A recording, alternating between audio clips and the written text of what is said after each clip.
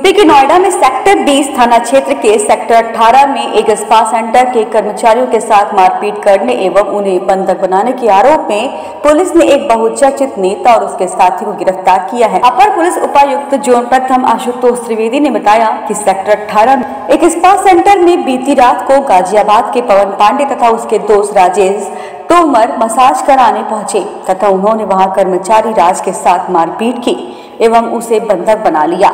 उन्होंने बताया कि राज की शिकायत पर पुलिस ने पवन पांडे और राजेश तोमर को गिरफ़्तार किया है। उन्होंने बताया कि दोनों आरोपियों को अदालत में पेश किया जाएगा। बताया जाता है कि आरोपी पवन पांडे गाजियाबाद के राजनगर एक्सटेंशन स्थित एक सोसाइटी में रहता है, जहाँ उसने एक व्यक्ति और उसकी बहन के साथ मारपीट की थी। इस मामले में गाजियाबाद में मुकदमा दर्ज है।